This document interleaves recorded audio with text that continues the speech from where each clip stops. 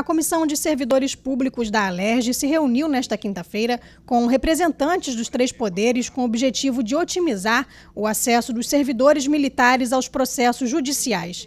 De acordo com o presidente da comissão, deputado Rodrigo Amorim, o grupo tem o compromisso de analisar dois aspectos imediatos: a instalação de uma justiça militar e a questão das exclusões dos policiais e dos bombeiros militares. Temos um efetivo cinco vezes superior ao que está disposto no, no, no dispositivo constitucional para a criação de uma justiça especializada. Entender a dinâmica dos processos administrativos no âmbito das duas forças por isso a importância da corregedoria aqui conosco, é, entender como se dá é, as punições né, e, a, e, toda a prestação jurisdicional no campo judicial e, e, tentar otimizar isso de modo a dar maior salvaguarda jurídica ao servidor público militar em última análise, é, isso vai reverberar no cidadão na ponta. O parlamentar também informou que um grupo de trabalho com os membros da comissão vai garantir celeridade nos debates para promover segurança jurídica aos servidores.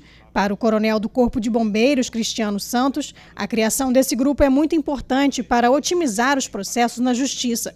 Assim como Amorim, ele também destacou a importância da participação dos três poderes nesse trabalho. Temos que garantir o devido processo legal, a ampla defesa e o contraditório a esses militares, independente de terem sido correto ou não na sua atitude. Mas nós temos que garantir isso para evitar aí qualquer problema judicial ou problemas que venham contra-argumentar as nossas ações no futuro. Representando a Ordem dos Advogados do Rio de Janeiro, Alessandra Barros ressaltou que esse é um tema fundamental e também recorrente nos debates da Comissão de Direito Militar da OAB.